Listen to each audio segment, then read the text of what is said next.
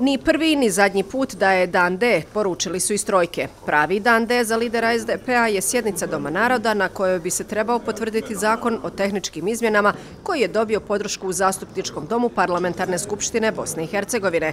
Dok god postoje udari na institucije naše zemlje, opravdan je ostanak i odluke OHR-a, naglasio je čelnik naše stranke.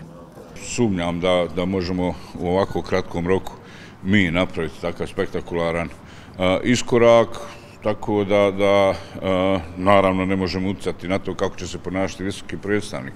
Ono što jeste činjenica da mi razgovaramo i o izbornom zakonu sa svojim partnerima, i pokušat ćemo doći do rješenja koje je prihvatljivo za sviju. U idealnom svijetu sami bi dogovarali i donosili zakone.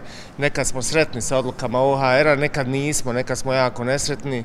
Idealno trebamo sami preuzeti odgovornost i donositi svoje zakone i mislim da je upravo ovaj evropski proces na kojem posebno trojka daje najveći akcenat i naše neka buduće kroz pregovore, približavanje pravnoj stečevni Evropske unije, onda možemo razgovarati o vraćanju suvereniteta u potpunosti na institucije Bosne i Hercegovine. Suglasnosti oko izmjena izbornog zakona između partnera na federalnoj razini nema u potpunosti. Jedino u čemu su složni jeste da izborni zakon treba mijenjati.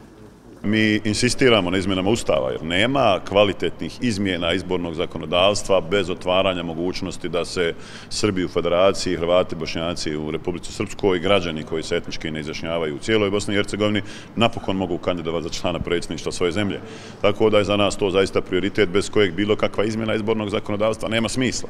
Ja sam onaj koji ponavlja da se mora rješavati pitanje predstavnika naroda. Glavni prioritet za trojku u ovom trenutku jesu odluke koje je nužno donijeti za otvaranje pregovora pregovora, a prije toga će lideri vladajućih stranaka na državnoj razini pokušati uz ostalo usuglasiti i tehničke izmjene izbornog zakona.